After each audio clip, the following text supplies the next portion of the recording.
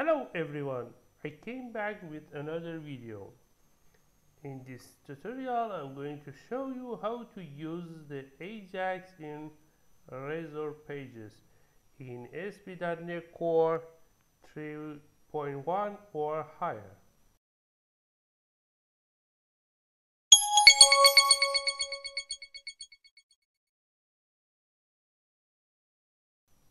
So I'm going to use uh, to create uh, a project it's been a Core web application. Next. Uh, the name of project Ajax pages. For example, create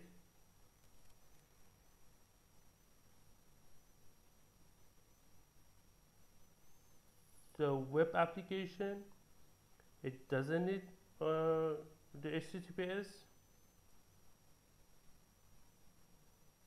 uh, ASP.NET Core 5 or 3.1 I'm going to use the 5 great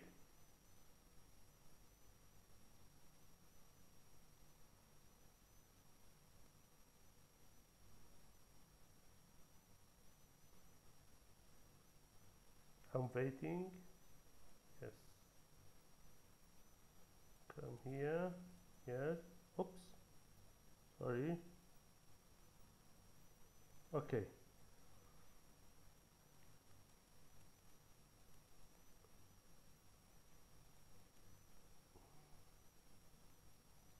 Okay. Open the CSHTML CS and uh, create the action result. uh, kind of HTTP post. Or sorry or get. Doesn't matter depends on your project. Uh, public. Action result. On get.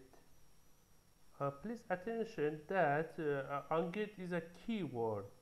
If you want to create a, a function in razor pages you have to write the on get before your name of uh, ajax function.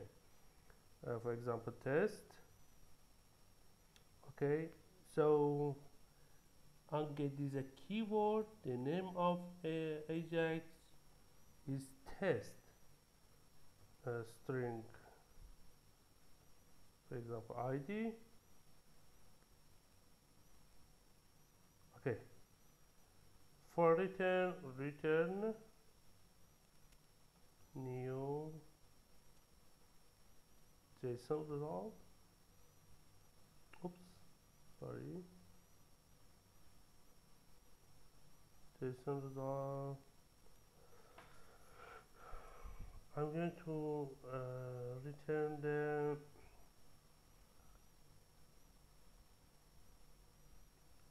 you send me send me this ID ID okay.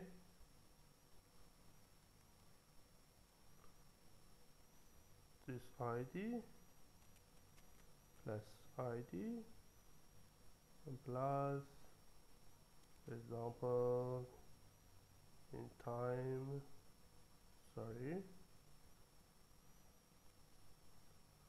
oops plus DateTime that no.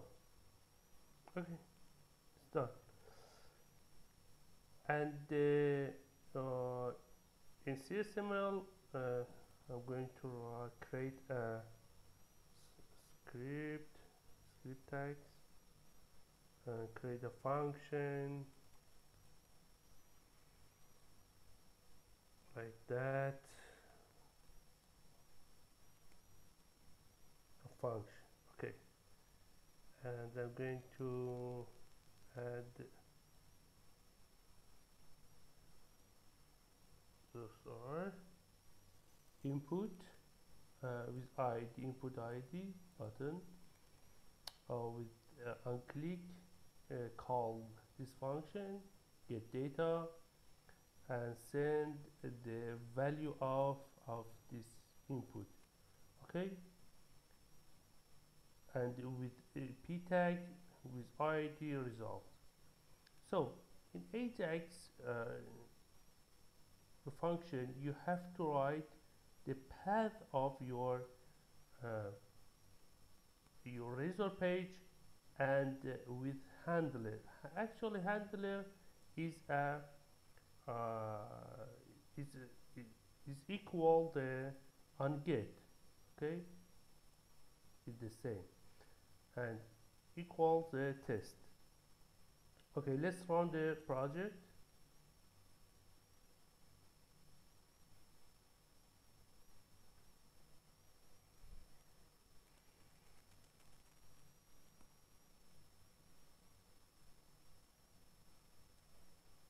Okay. For example uh, 12 call. Oops different? What is the problem?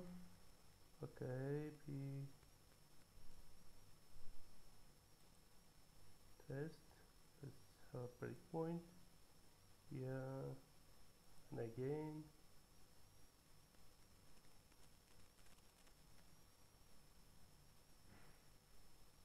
Two. Okay what is the problem oh it's not test. Yes. Again.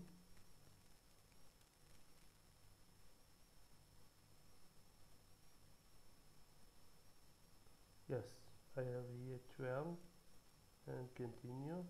Yes. Another example. Cute closes com it's done. A piece of cake. You can visit my website and download this video and the source. And if you have any question you can leave a message and I will uh, respond to you